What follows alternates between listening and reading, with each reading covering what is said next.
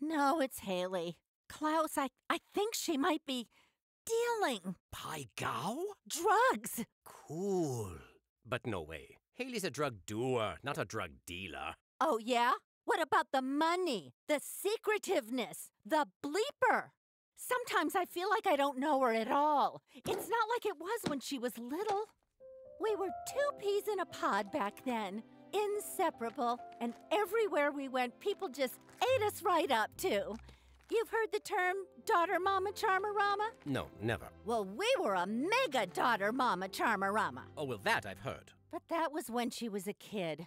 Now, honestly, God knows what she could be up to. Why would you put this in here? What you doing? Nothing! Say, what's in the duffel bag? Nothing. Gotta go. Been making that face a lot lately. Mm, like this. Mm. This face. Mm.